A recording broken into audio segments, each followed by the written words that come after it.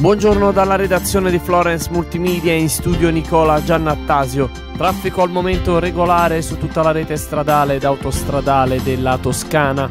Sulla Fipili per il cantiere aperto per i lavori di manutenzione al viadotto del Turboni possibili disagi tra Ginestra Fiorentina e Montelupo Fiorentino in entrambe le direzioni.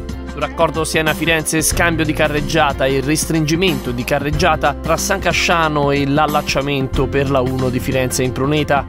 Sulla strada regionale 436 Francesca, senso unico alternato, il restringimento di carreggiata per lavori all'altezza del chilometro 16 fino al 31 marzo.